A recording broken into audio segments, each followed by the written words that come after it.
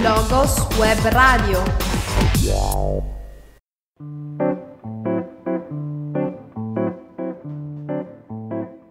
Alcuni dei ragazzi del SAP, in collaborazione con Blogos di Casalecchio, hanno realizzato un'intervista al sindaco di Monteveglio, nonché all'assessore delle politiche ambientali dell'Unione dei Comuni della Valle del Samoggia, Daniele Ruscigno, in merito alla gestione del territorio.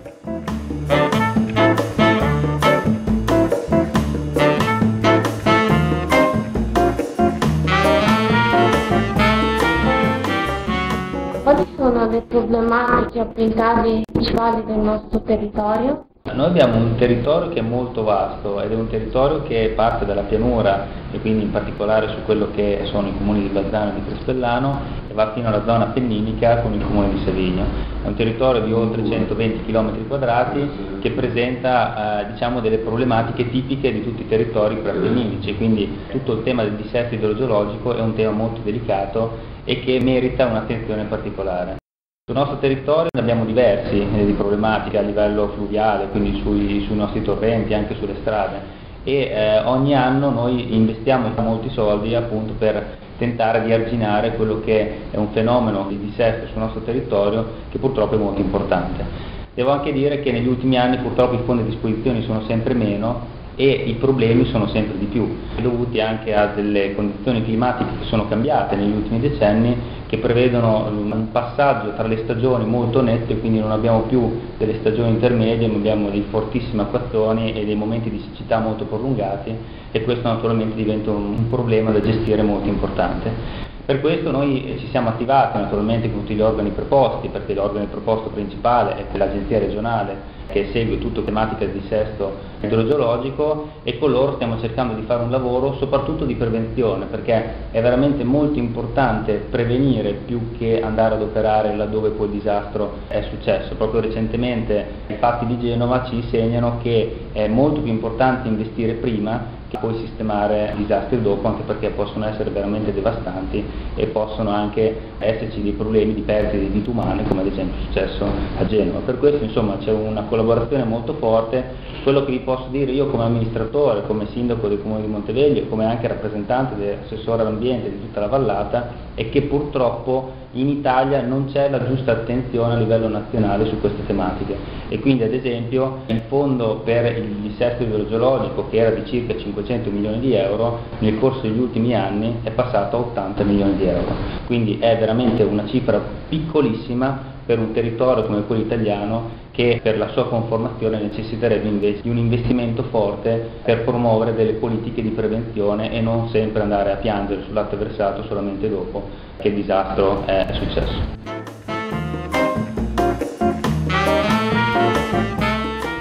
C'è un piano preventivo e risolutivo? C'è un piano preventivo, risolutivo, è una parola molto difficile da usare su una cosa come questo. Noi abbiamo proprio quest'anno approvato un piano di protezione civile nuovo con una collaborazione che ci è stata dai Vigili del Fuoco di Bazzano e quindi abbiamo avviato una collaborazione importante che ha previsto un presidio centralizzato nei casi di calamità naturale che coordina tutti i vari presidi locali, con anche un piano proprio di protezione civile aggiornato che, eh, che, tra l'altro poi sarà aggiornato proprio nel corso del 2012 perché questa convenzione l'abbiamo stipulata qualche mese fa e che va a superare anche alcune criticità relative al nostro territorio perché era un po' di anni che non si aggiornava il piano di protezione civile. Quindi con questa collaborazione che è triennale, noi grazie anche appunto alla collaborazione dei Vigili del Fuoco di Bazzano riusciremo ad avere questo piano di protezione civile che coordinerà eventualmente le azioni in caso di calamità naturali. Questo per noi è stato un passaggio molto importante e tra l'altro in un momento di eh, scarsa disponibilità finanziaria come questo noi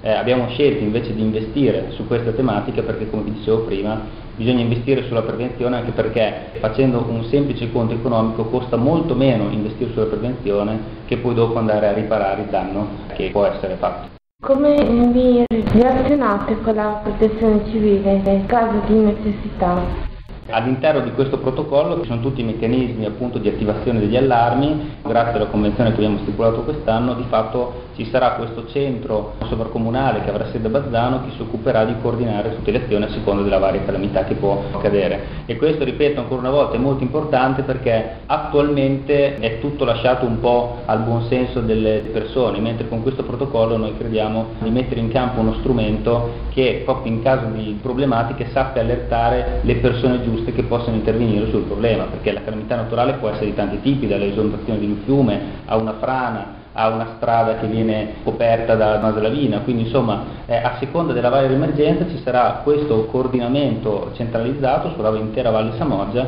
che ci dirà cosa dobbiamo fare a seconda del caso. Ha dei consigli per la salvaguardia dell'ambiente? Ma io credo che la prima cosa da fare, soprattutto dal nostro punto di vista come amministratori, sia quello di arrivare a pianificare le eh, urbanizzazioni sul territorio in un modo coerente e in un modo che possa rispettare l'ambiente. Noi stiamo costruendo un piano urbanistico sovracomunale che si chiama piano strutturale comunale, non solo all'interno dei comuni della Valle Samoggia ma coinvolgendo anche i comuni di Zola e stiamo cercando di eh, pianificare servizi laddove il territorio consente di inserire determinati servizi, perché non ha senso andare a fare delle industrie eh, nella zona appenninica come non ha senso andare a costruire delle case su un versante che sappiamo benissimo che è a rischio smottamento, perché poi dopo è chiaro che ci saranno dei problemi. Quindi questo piano che eh, si sviluppa da un territorio molto vasto, dal Zoro Predoso fino a Savigno, ci ha consentito di fare le scelte per il futuro installando e inserendo le nuove urbanizzazioni, le nuove zone artigianali o lavorative laddove ci sono già le zone infrastrutturate o dove non ci sono rischi ad esempio di esondazione o di dissesto idrogeologico, mentre abbiamo fatto un lavoro grazie a questo piano anche di preservare quella che è la quinta collinare, quello che è la zona preappenninica, che è notoriamente più sensibile da questo punto di vista e poi la preserviamo anche perché per noi è veramente un valore aggiunto, perché le bellezze del nostro Appennino poi possono essere un valore non solo come valorizzazione del nostro territorio, ma anche un valore economico per promuovere il turismo, per promuovere l'agricoltura e cercare di cambiare passo anche in una fase economica come questa dove tutti noi dobbiamo probabilmente cominciare a cambiare logica anche rispetto ai tipi di lavoro che facciamo noi in questo momento che utilizzando anche le nostre esperienze del passato possono trasformarsi in nuove opportunità e quindi ad esempio valorizzando il nostro patrimonio turistico dell'agricoltura.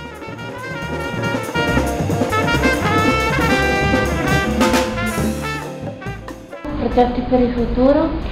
La maggior parte sono tutti quelli contenuti all'interno di questo piano strutturale perché eh, tantissime indicazioni sono date lì dentro. Ci stiamo muovendo dal punto di vista delle politiche ambientali diciamo ad ampio spettro, quindi ad esempio il tema dei rifiuti è un tema che noi stiamo affrontando in modo deciso e il comune di Monteveglio ad esempio è stato il primo comune della provincia di Bologna a partire con la raccolta differenziata spinta, quella porta a porta. E quindi ad esempio siamo passati dall'11% di raccolta differenziata al 70%, come noi anche altri comuni della Valle Samoggia hanno seguito questo esempio, quindi il nostro territorio ha un livello ad esempio di raccolta differenziata molto spinto. Stiamo facendo un lavoro ad esempio sul tema dell'acqua e quindi rispetto del, di questa preziosissima risorsa, quindi consumarla meno, consumarla meglio. Stiamo facendo un lavoro con le scuole per superare l'uso dell'acqua delle bottiglie che ovviamente produce inquinamento perché i camion che la portano in giro, poi le bottiglie di plastica da smaltire sono un problema e quindi abbiamo fatto anche tutta una serie di lavori in questo senso. E poi anche altre piccole cose come la promozione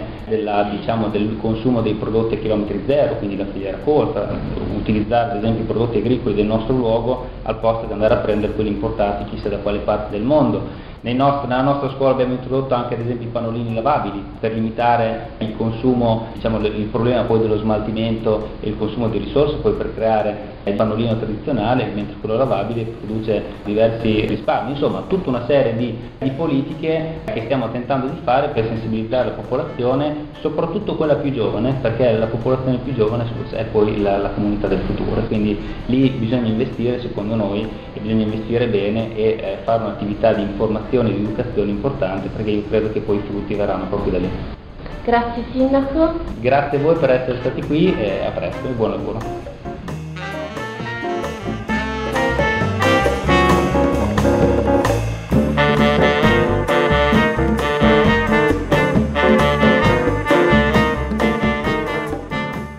Abbiamo appena sentito Daniele Lucigno che ci ha parlato della problematica ambientale della Valle Samoggia. e dell'importanza di investire sulla prevenzione e di sensibilizzare i giovani alla salvaguardia dell'ambiente. Un saluto da Massimo. Annalisa, Christian Francesca.